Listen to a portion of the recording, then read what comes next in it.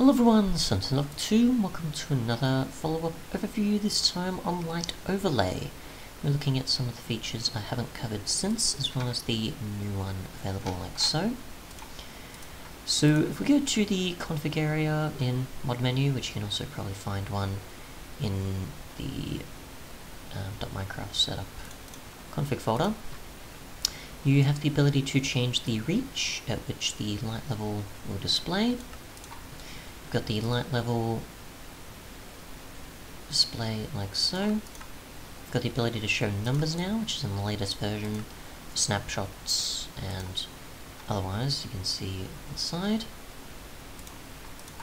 You have a color option for the yellow and red of the crosses or X's, and you've got the line width to make it easier to see them.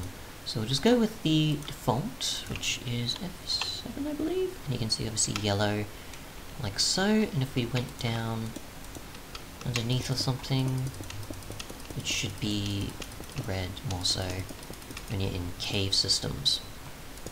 So, yeah. If we change this, obviously, we can change it to have a number instead. So you can see zero light level, and then you can see it counting up, and it should count up to at least 15, which we get something like a torch. You can see obviously the middle is 14, and then everything else obviously goes down as the light level would when there is less of a light source nearby.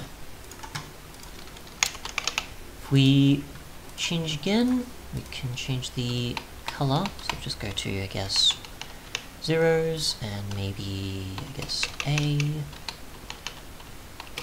zero, zero or so. Error, so clearly I'm missing something. I need four, and then like so. A, A, A, uh, two zeros. There we go.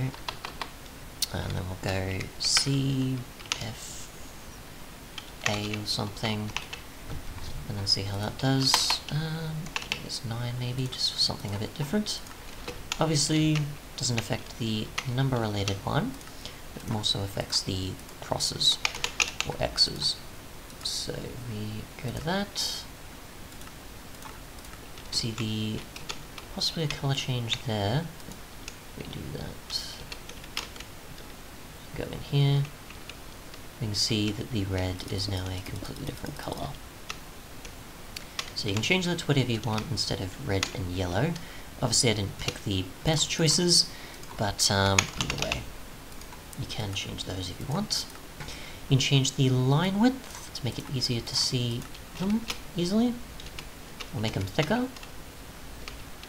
As you can see there, compared to what it was prior.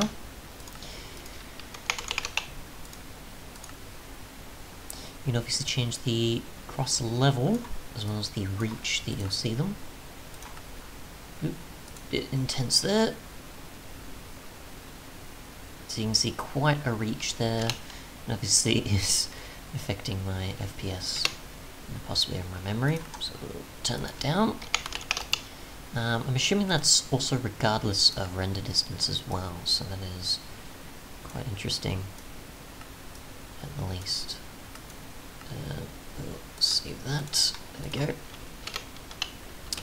And then the other is obviously for how far you can see.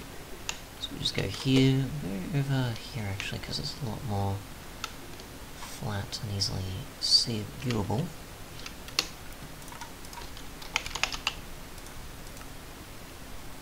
If we change that, Not sure if that is for light level itself, rather than what I'm thinking, because obviously the other is reach. Um, yeah, that is the light level itself, so I'm assuming that's what's going to reflect, um, similarly to the number one, where obviously it will display whatever numbers, and the cross will probably be a either a stronger color or a more Oh, okay, it changes from yellow to red, so if you want to have it where it shows the least amount of light, you can change it to that. If you want to change it to the most amount of light, then you can change that as well. So we put it to zero. That should change to yellow. Yep. And if you put in isn't between, it'll reflect in between, like so. So yeah. Thanks so much for watching, and goodbye.